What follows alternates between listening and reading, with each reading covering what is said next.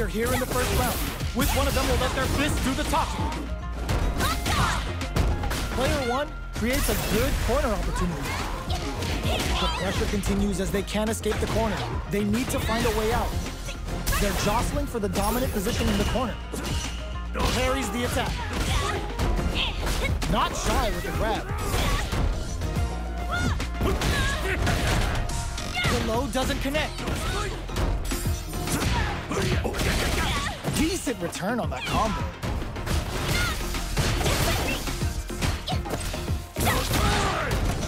Jump!